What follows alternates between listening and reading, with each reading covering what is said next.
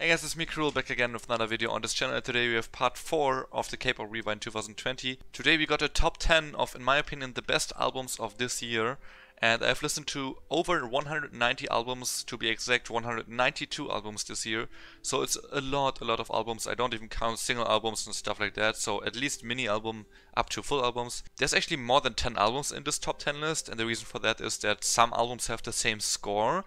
And if you want to know how the score came to be, then um, well, I will explain it at the end of the video and I will also leave a link to uh, two Google spreadsheets in the comment section of this video where you can check out more um, about my reasoning, about my math and uh, also you can check out all of my other album ratings that didn't make it in this top 10. We're gonna start with three honorable mentions, I just quickly will go over them and these three honorable mentions are actually the albums from 13th to 11th in this ranking.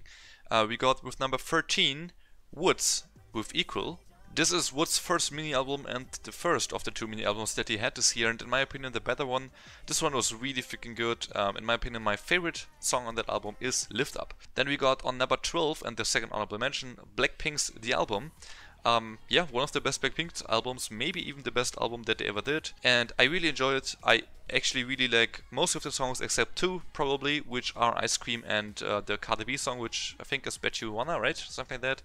But my favorite is probably Lovesick Girls, either that or Love to Hate Me or Pretty Savage. I actually don't know or one of the three though. And the third honorable mention goes to NCT's Resonance Part 1 and 2 combined.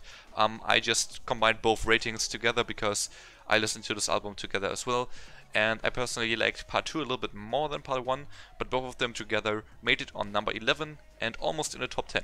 Right, now we're starting officially the top 10 and I'm gonna play like my favorite song of one of these albums in the background while I talk about it. On number 10 we got actually three albums at the same time. We got Noir with Up the Sky, we got DKB with Love and we got YooA with Bon Voyage. So to me these three albums are interesting because all three of them in my opinion, are very, very underrated. I think YooA's Bon Voyage might still be like the most popular one out of these three, but especially DKB's Love and especially especially Noir's Up the Sky are so so so unknown and underrated that I just want you guys to encourage to listen to this. Like especially Noir's Up the Sky is such a good album. Like please freaking listen to this. This is so good. Like literally. Um, DKB's Love is a very vibey album, almost kind of cutesy, that's why I was very surprised that I like it so much, but I actually just do. And then for YooA's Bon Voyage, it's amazing. Um, I've never imagined her voice to be like this and it's fantastic. Coming in number 9 we got BoA with a 10th full album called Better. Yeah, this one only came out recently and I have actually filmed an album review to this one on my Patreon. So if you want to check that one out you can do that by clicking the link to my Patreon in the description of this video. Um, shameless plug I know, but yeah, BoA's Better, really really good album. There's not really like standout songs on this album, but if I had to name like favorites then it's probably Cut Me Off and All That Jazz. Um, the title track Better is actually my second least favorite on this album, so if you like the title track already, you will love this album. It's so freaking good. Coming in number 8 we have actually 4 albums on the same shared spot. First up we got Hin with When I Tell You Goodbye. Second is Girls in the Park with The Keys. Third is Jessi's Nunu Nana. And fourth is Pentagon's Universe The Black Hole, which is Pentagon's full album earlier this year with title track Dr. Bebe. And yeah, all four of these albums I find fantastic. I personally think probably that Pentagon's Universe The Black Hole is the best album of this list. So Girls in the Park's The Keys album has only 4 songs, that's why it's a little bit lower on the list than it could be with more songs. The average rating on this album was actually making this album, I think, my number 4 spot, but because I actually value the number of songs on each album um, relatively to the average, and there's a whole formula and math that I used for this on my Google spreadsheet. That's the reason why Girls in the Parks The Keys is only on this spot on number 8 but I still really love it. And After the Bloom alone is definitely my favorite song of these four albums. It's such a good song. It's crazy good. Coming in at number 7 we got two different albums. You got ITZY's It's Me and IZ*ONE's Bloom Is. Yeah, It's Me was my favorite ITZY uh, album of this year. Not Shy is actually not at all an album that I like. And to be honest, the same goes for IZ*ONE's Oneiric Diary and also the most recent album. Both of them are like mm, meh to like mm, okay but none of them is really as good as Bloom Is in my opinion. Bloom Is had some outstanding songs on here. Obviously, Fiesta is my favorite song on this album. Uh, well, not obviously, but for me, that's obvious. But I also really, really like Ayaya, You and I, and Someday. And yeah, IZ*ONE's Bloom Is was also my first album that I've heard of 2020. Uh, it came out in early January. I think, and I I definitely think it's not the first album that came out this year, but the first one that I actually have heard this year. So that kind of holds a special place in my heart because it started the whole journey of 192 albums that I all rated relatively to each other.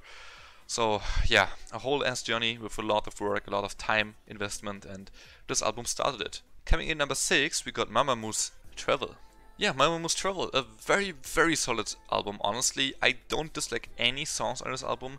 I at first didn't like ah Aya, the title track, that much, which to me was like shocking and kind of worrying too. Before I actually listened to the B-sides, I was like, oh no, I could not like this album, and that would be a first for Mamamoo. I actually like all Mamamoo albums.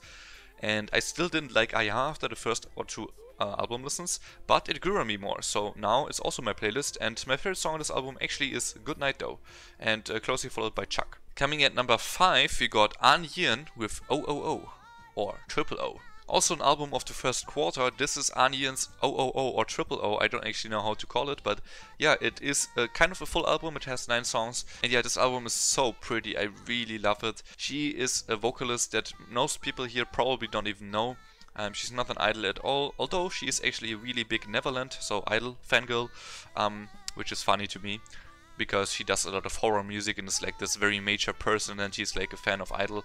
I don't know why that is uh, funny to me, but it just kinda is. I still support that though, of course.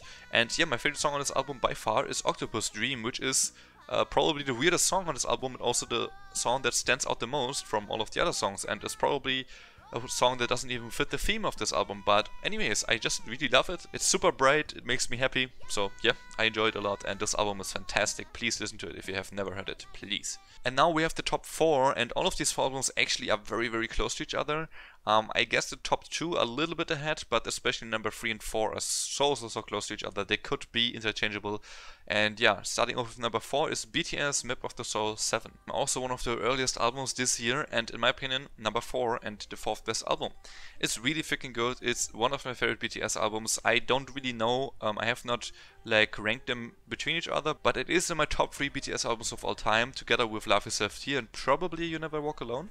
I really like 7. I really like it. And yeah, my favorite song on this album is by far Louder Than Bombs, although I also really like Uh or Ah.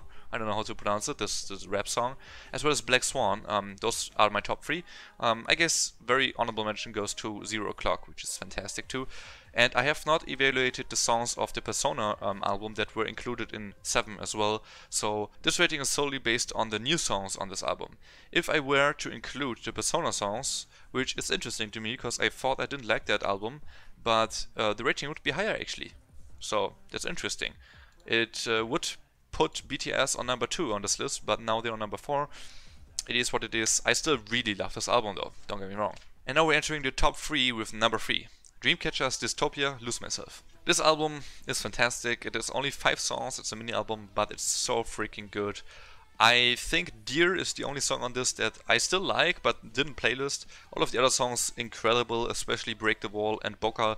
I love them so much. I, I, I can't say enough how much Dreamcatcher rocked my world in 2020, and this album is the proof of that somewhat.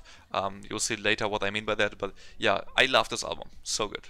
Coming in number 2, we got Hwasa with Maria.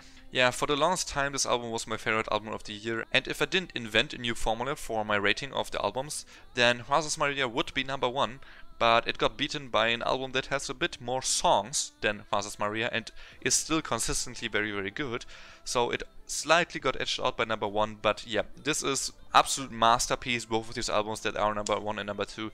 And Hwasa's Maria in its whole, from start to finish, tells a story. It's very complete, it's very satisfying, it is very emotional.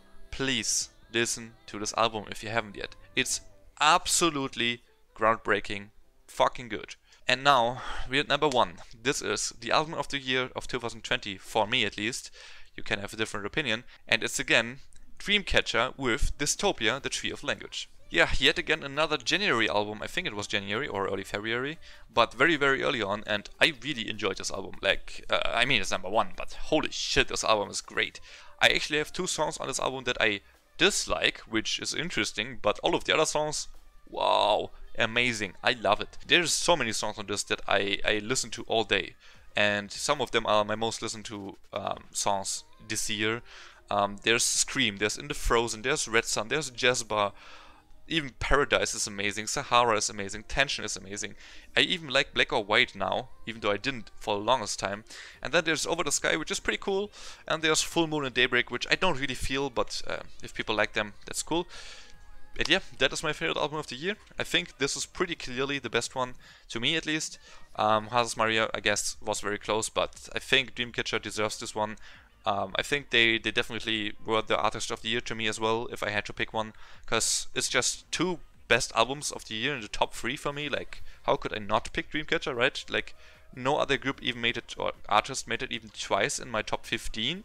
So, what can I do, right? Like, it's definitely deserved, in my opinion. And yeah, fantastic album. If you haven't heard it yet, you should definitely. And that is my list for 2020. Um, let me know what you think of this and do you agree with some choices? Do you disagree? Please let me know everything in the comments of this video and also let me know your guys' favorite albums of the year. Again, this is only my opinion, you know, you don't have to like it, but if you don't like it, please stay neutral. Please just don't hate. It doesn't make any sense to do that. I don't care what you say. I love my albums that I love, right? You can love what you love. I support like everyone's tastes, right? So if you like Itzy's Not Shy the most of this year, then it's totally fine to me. Even though it's probably an album that didn't even make my top 50 this year, it's totally fine to me because whatever you enjoy, that's totally your thing.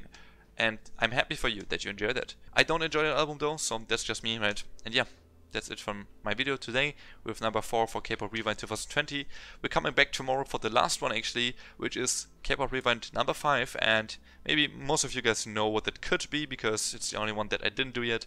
It kind of makes sense um, for it to be the last one and yeah, look forward to that one. I also have two more videos coming up after that, which is the day after tomorrow um, on the 31st, but yeah, that's not really related to K-pop that much. It's more to my channel and yeah, if you want to watch those, you can definitely do as well. It's some announcements, I guess.